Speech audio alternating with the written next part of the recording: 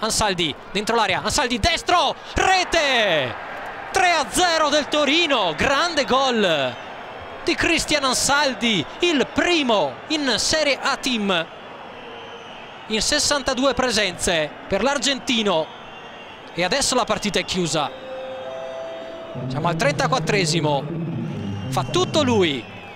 Rivediamo il lancio di Obi forse da rivedere la posizione di Assalti, forse in fuorigioco, poi il tentativo di Palovento si scontrano, Faragò e l'altro giocatore sulla fascia, poi Ansaldi fa quello che vuole, limite dell'area,